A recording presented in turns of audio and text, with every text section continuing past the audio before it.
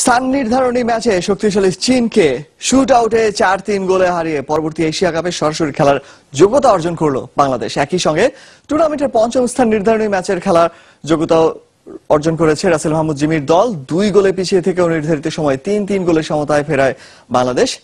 Shoot আউটে রাসেল মাহমুদ জিমির গোলে ranking এর ষোলো ধাপ এগিয়ে থাকা চীনকে হারায় স্বাগতিকরা।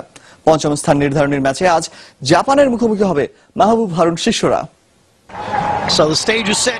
টুর্নামেন্টের প্রস্তুতি নিতে চীনে এক মাসের প্রস্তুতি ক্যাম্প সঙ্গে পাঁচটি প্রস্তুতি ম্যাচ যে সুবিধাকে পুঁজি করে ঘুরে দাঁড়ানোর মিশন বাংলাদেশের। কাঙ্ক্ষিত পঞ্চম স্থান নির্ধারণী ম্যাচের যোগ্যতা অর্জনে চীনের বিপক্ষে শুরুটাও আক্রমণাত্মক স্বাগতিক দলের। কিন্তু গোলরক্ষককে একা পেয়েও সাইড পোস্টে শট মিমোর পরের পাঁচ মিনিটে আরও দুটি সহজ সুযোগ মিস. জিমি বাহিনীর সব প্রতিরোধ ভেঙে পড়ে দ্বিতীয় কোয়ার্টারে। টানা পাঁচটি পেনাল্টি কর্নার আদায় করে চীন যা শেষ দুটিতে স্কোর করেন ডু তালাক। Here comes another drag flick, another goal for China. পাল্টা আক্রমণে সমতায় ফেরার চেষ্টা বাংলাদেশের। কিন্তু মিমো মিলনের পরপর দুটি সহজ সুযোগ মিসে গোলের দেখা মেলেনি। তবে চব্বিশ মিনিটে পেনাল্টি স্ট্রোক থেকে ব্যবধান দুই এক করেন আশরাফুল. সাতাশ মিনিটে পেনাল্টি কর্নার থেকে ডু তালাকের হ্যাট্রিক গোলে ব্যবধানও তিন এক করে চীন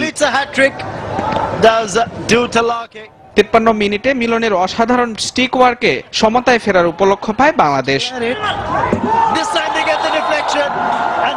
পরের মিনিটে খোরশেদের পেনাল্টি কর্নারে ম্যাচে সমতা নিয়ে আসে জিমির দল ম্যাচ গড়ায় শুট আউটে যেখানে সবুজের শুট মিস হলেও গোলরক্ষক নিপ্পনের দৃঢ়তায় টুর্নামেন্টে অন্তত ষষ্ঠ স্থান নিশ্চিত হয় বাংলাদেশের এখন পঞ্চম স্থান নিশ্চিতের লড়াইয়ে বাংলাদেশের প্রতিপক্ষ জাপান. মুজরামিন তারেক যমুনা স্পোর্টস ঢাকা.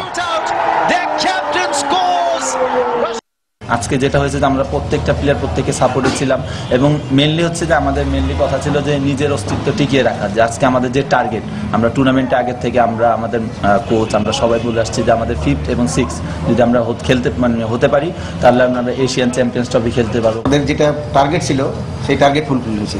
এটাই আমাদের মানে ইয়ে। কিন্তু খেলা অ্যাজ এ কোচ হিসাবে আমি ফুল ম্যাচে আমার এক ইয়ে ছিল না, এবং এই টুর্নামেন্টের লাস্ট কোয়ার্টার ছাড়া আমার টিম কিন্তু অতটা ভালো খেলতে পারেনি।